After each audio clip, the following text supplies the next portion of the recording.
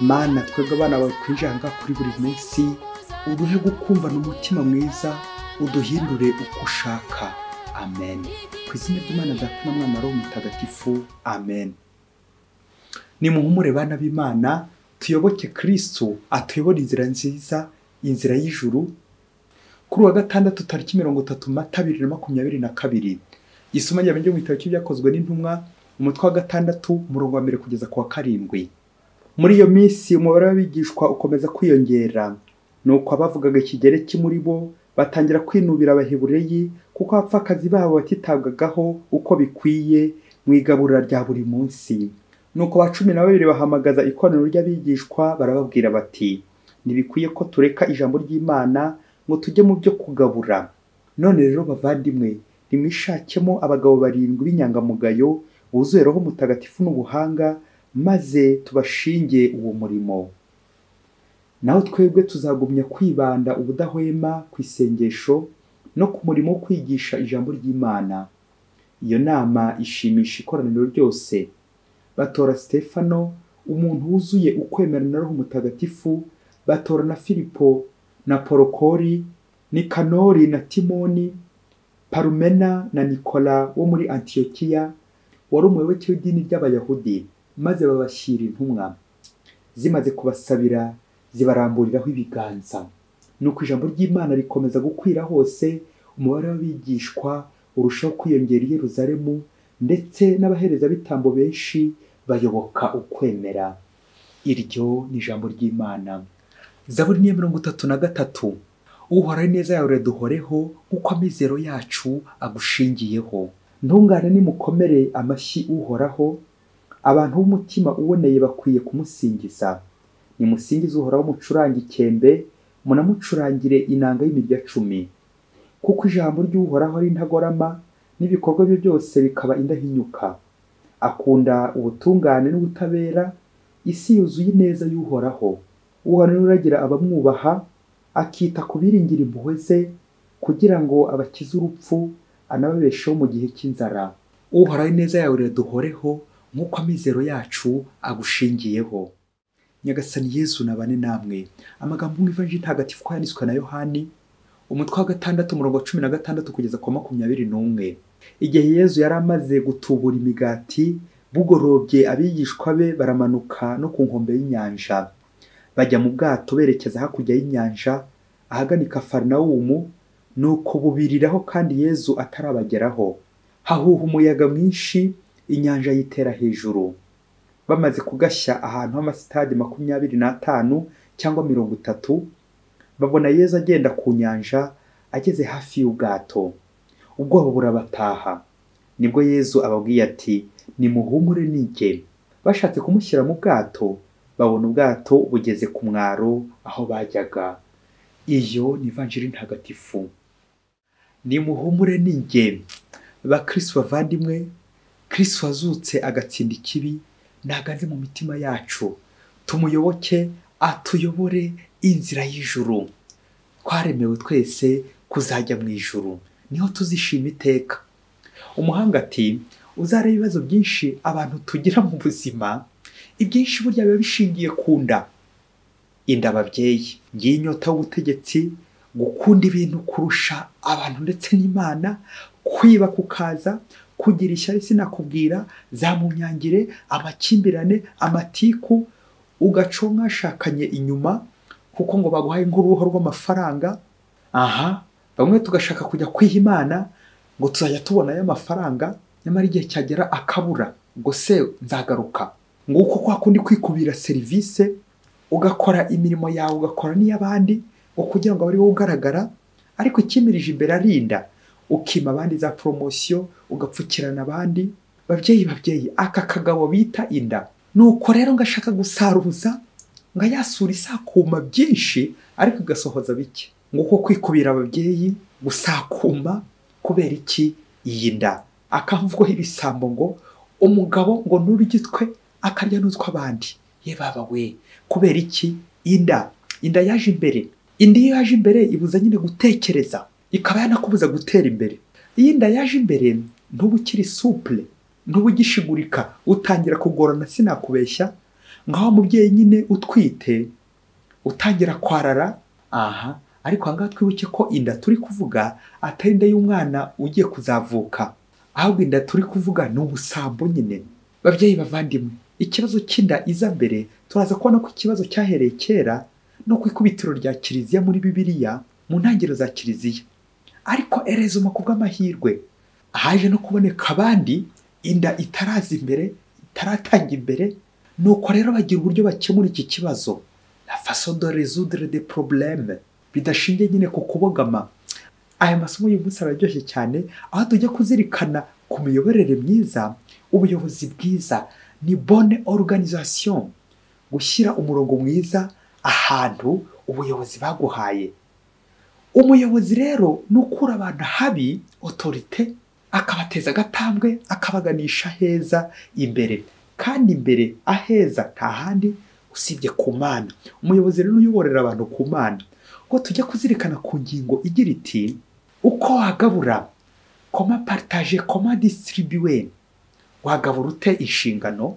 Turaza kubona ko kugabura atari ibiryo gusa ahubwo nanone n'inshingano iyo rero ugabuye inshingano inda ikagutanga imbere n'ubundi bisubirira udubi. Uteza akavuyo sinakubwira. Abantu aho kurya ahubwo bakaryana.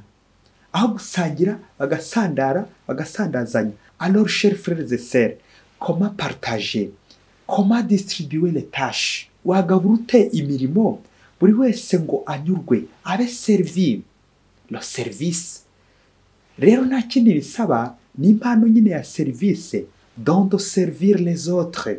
Byumvikane rero intumwa ya kristo intumwa y'imana iyo ngabire urayihabwa. Kristo arayiguha sans rien payer. Ntacyo wishyuye nta kiguzi pe. Ese ye ibintu by'isi duhita dukoresha temporels ou matériels? Ese bishobora kutugeza ku bintu bidashira? La vie éternelle. Bityo bikadufasha kurangamira imana cyangwa biradupfukirana? Tugakomeza kubyibandaho no kubyizirikaho bikadukigingiza bikadusya. Akamwana bari ikinyenyeri mu kirere aho gukomeza kureba ya nyenyeri ahubwo agakomeza yirebera urutoki ruri kubimwereka guhugira ku rutoki guhugira ku bintu bya bintu bidufasha hano kuri iyi si ariko akaba ari byo dukomeza duhugiraho aho kureba imana ibiduha. Ese natwe bavandimwe wasanga ibintu by'isi aho kudufasha gukira? Salut. Ahubwo bitwica bikanaturindagiza yewe. Iyo ibintu bijya kuduteranya no kutubyazamo amacakubiri aho tujya twicara tukicara hamwe mu nama tugashaka igisubizo kibereye imana koko nk'abakristu nk'abahawe yezu abari muri kiliziya bana b'imana muri aya masomo harimo ikibazo cy'akavuyo desordre amacakubiri yaturutse ku mikoreshereze mibi y'ibintu ariko erezuma ku bw'amahirwe hari n'igisubizo la bonne organisation kugabura imirimo distribution de tâche ngiki igisubizo cy'intumwa bigaragara ko nyine bari bari kumwe na yezu mubyeyi wari uzi ko utagabura neza mu rugo rwawe nubwo wahabwaho ibya mirenge ngo abana banyurwe abo ugaburira banyurwe utari kumwe na yezu utarunda hamwe na yezu muyobozi wari uzi ko utayobora neza ngo bigukundire utari kumwe na yezu aha niba nta bantu ufitanye na yezu ndakubwiza ukuri. Ubuyobozi bwawe buri muri marembera intumwa ya kirisitu rero ihora ari inkoramutima ya yezu ntijya kure ya yezu. Ahangaha ku ntumwa ya yezu ni yezu ujya imbere aho kugira ngo inda abe ariyo ijya mbere. Yezu umuyobozi mukuru ntashobora kubura aho hantu. L'autorité n'est jamais absente. Aha ni itegeko umuyobozi ntakerererwa ntasiba ntabura aha imana niyo autorité mukuru niyo muyobozi mukuru. L'autorité par excellence. Imana yo ihorana natwe. Ntishobora kubura aha. Ahari urukundo n'umubano imana igira ite? Iba ihari. Mu isomo rya mbere twazirikanye riryoshye cyane. Intumwa nk'abayobozi bakuru bahagarariwe na petero yezu yashinze kuyobora kiliziya ye bahuye n'ikibazo cy'ingutu pe. Ikibazo cy'ingutu gishingiye hehe ku nda? Byo desordre umwiryane hagati y'abagereki ndetse n'abayahudi. Abahebureyi. Mwahangaha bya bibazo by'amoko babyeyi kandi wasanga nanjye ndi padiri nkigendera ku moko. Nkaba nakemura ibibazo by'abakristu. Narahengamye. Nirinze kuvuga ubuhezanguni extremisme kandi na byo byaba padiri mwa ntibikabe rwose yesu we. Oh ironda koko babyeyi.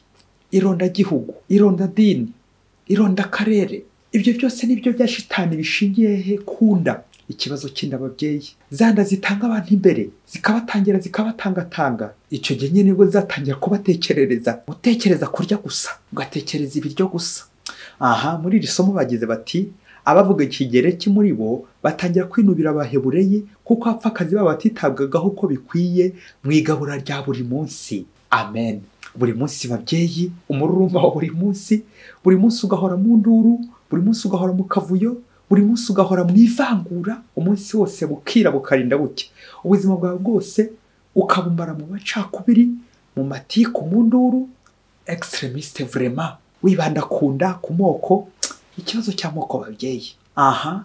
Niba ngifite igitebo cy'amoko iwanjye nakagomye no kugira ikindi cyuzuye isoni. Kuko kuronda ni isoni zikomeye babyeyi. Ndakubwiza ukuri umuyobozi watangiye kugendera ku moko agakoresha ikimenyane sinakubwira. Icyene wabo reka nawe kuvuga ikiryango. Namwe mwumva ko binagayitse. Ukaba wagira uruhande ubugamiraho sa se danger de mort. Uhegereye wapfa. Bene uyu muyobozi yarindagiye ajya no kurindagiza imbaga. Azayiyoborere he ikuzimu?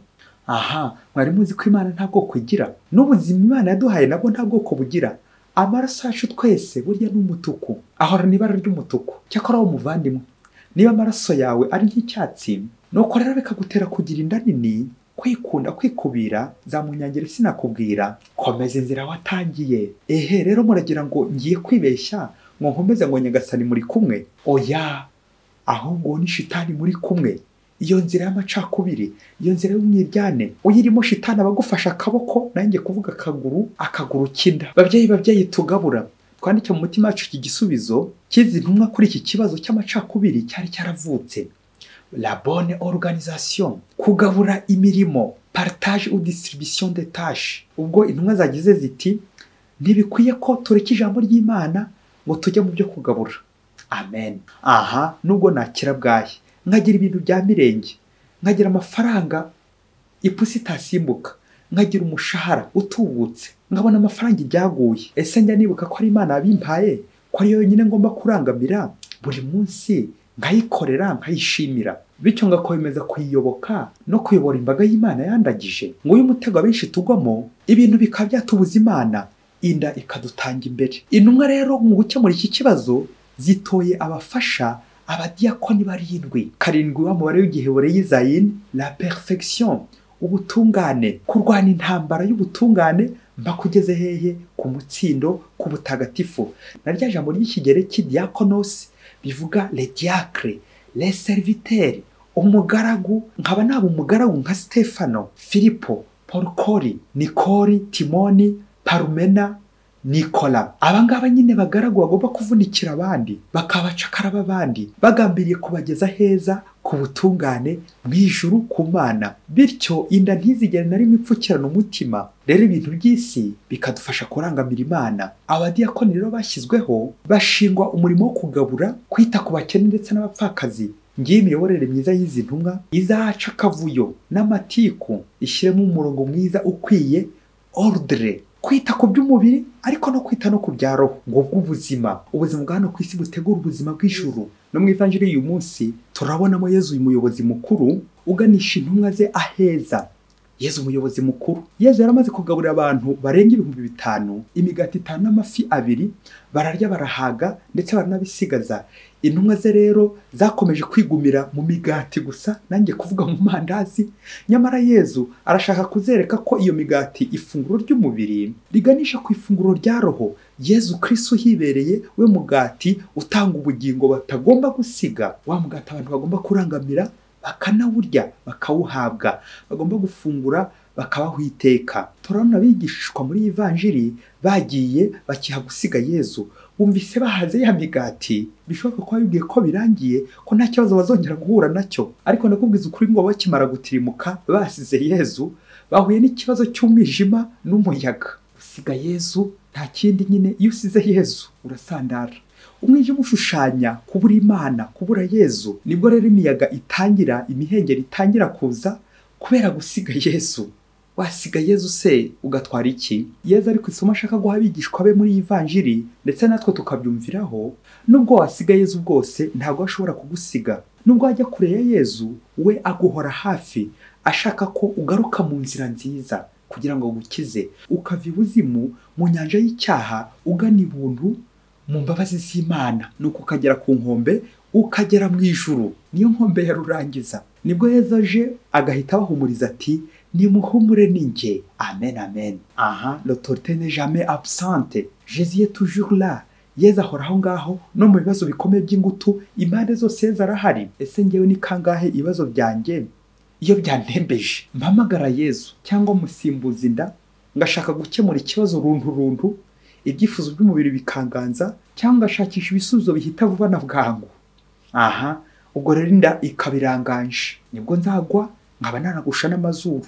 Kandi byabaye. Ngo umunsi umwe hirya kure cyane muri afurika ngo umugabo umwe n'umugore ngo bahuye n'ikibazo cy'ubukene pe. Dore ko ngo bari batunze ibya mirenge ibintu byinshi amamodoka amazu amasambu n'amafaranga y'iyo menshi. Nuko rero igihe kiragera ngo barahomba hafi ibyo guhombana ndetse no guhomboka. Nuko ngo basubira ku isuka ibyo kuyisubiraho pe. Ariko inkuru y'umwana isubira inyuma ngo umugore muri uru rugo ngo yari afite uburanga buhebuje. Ku buryo no kuza kuri uyu mugabo yamukuye mu menyo ya rubamba ngo aho yamurwaniye n'abandi bagabo benshi. Ariko uyu mugabo akabarusha iki? Amafaranga menshi n'ibintu byinshi yari atunze. Ubwo rero uyu mugabo akabokukanya uyu mugore ku bw'ayo mafaranga menshi. Nuko ngo abandi bataha amaramasa bareba nk'ibiyuku ngaho mufore uko bizagenda muri uru rugo niba icyari kibahuje ubukire bw'amafaranga kirangiye ubwo se uyu mubano hari aho uzaba ugishingiye? Aha. Tekereza nawe ubukene barimo. Nuko umugabo umwe abonye urwaho nanjye kuvugira ikibazo kiri muri uru rugo cy'ubukene maze yihererana umugabo wo muri uru rugo aramubwira ati harya wabuze amafaranga uri hamwe inzu y'ikode urimo? Harya ngo uri kuburara? Waba umuswa wakabya? Waburara ute se? Wakena ute? Ufite uriya mugore mwiza kuriya wa mugabo ati kagira inkuru n'umuntu wo kuyibara nuko uwo mukire aramubwira ati mbwira ngo usinyire sheke y'amadolari ibihumbi bitanu turarane umunsi umwe n'uriya mugore wawe ubundi nguhere ayo mafaranga. Aha koma distribuer alors les tâches dans cette maison. Nuko wa mugabo ati urakomeje koko ntumbeshya? Undi ati ngiyi sheke mbwira nyigusinyire ubundi umpe ibyo nagusabye. Nuko wa mugabo ati reka mbanze njye kubaza madame koko niba byemera ubundi dukore urwo rufaranga. Urwo rufaranga ruje rushyushye. Twarwiteza ni uko wa mugabo abikojeje umugore aha ibaze niba ari nko agati mu ntozi foro ko umugore yifoye abyanga. Abyanga aha yabyanga ate se? Imbere y'urwo ruhu rw'amafaranga yose imbere y'ubwo bukene bukabije barimo idolari rya bitanu vurema ni uko wa mugore aremera abagabura imirimo batyo ya otofinansoma otofinansoma y'urugo babyeyi kwigira. Wa mugore aragenda no kuri wa munyamafaranga koko amusinyira ya sheke wa mugore nawe ahita ayifotora aheza umugabo kuri watsapu isinye kuri watsapu babyeyi. Wa mugabo koko ayibonye aravivura ati kora urwo rufaranga madame. Turebe ko urugo rwacu rwazanzamuka. Ubukene bwari butugeze mu ijosi. Ni uko wa mugore nyine aryamanye sheke yabo nawe mugabo afite kopi yawo kuri watsapu fotokopi conforme à l'original ngaho fora ibyishimo bya nyiri urugo ategereje ryaha aho wa mugore aza kumuzanira muri ya distribution de tâche uko abagabo y'imirimo. Wasanga uyu mugabo yatangiye gufata amadeni kwishyushya ari ku ntebe y'ubushyuhe. Nuko se babyeyi mwagiye se ngo wa mugore ntiyaje kwikundira ubushyitsi? Akigumira kuri wa munyamafaranga wa munsi ugashira icyumweru kigashira. Ukwezi kugashira. Nirinze kuvuga ko yagumyeho burundu nkundi iyo bweze nyine kuko icyo yakundaga nyine yamaze kugishyikira amafaranga ababyeyi. Aryamanye ya sheke. Nawe ureka undi ngo afite gihamya cya sheke kuri watsapu ifoto ya bya dolari ya bitanu. Kuri iyo foto mubyeyi kuri watsapu uzi kubura amafaranga ukabura n'umugore wawe. Ni nko kubura ihene nyine n'ibiziriko. Yewe yewe babyeyi na n'ubu wa mugabo aracyategereje amutegereje muri ya nzu nyine y'ikodi. Na ya foto y'idolari rya bitanu kuri watsapu aha ngura iyo foto y'uyu mugabo n'aka gahinda afite. Kubera iki?